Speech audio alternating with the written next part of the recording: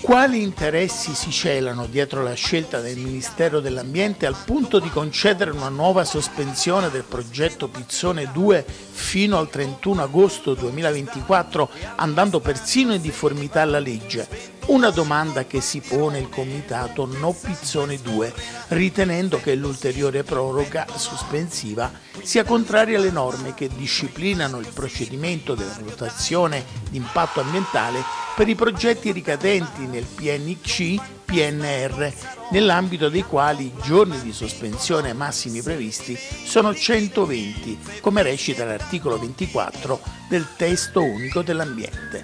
Insomma, parrebbe proprio che nonostante i pareri contrari espressi dall'ente Parco Nazionale d'Abruzzo, Lazio e Molise, ma anche da buona parte della politica delle regioni interessate, ci sia una sorta di simpatia da parte di qualcuno verso la realizzazione della centrale idroelettrica, comportante lavori devastanti per un territorio protetto e di alto valore naturalistico. E allora è vero che siamo la terra dei cachi, incoerenti e bugiardi, quando si parla di turismo sostenibile. Ma quale? Quello dei cantieri o cos'altro?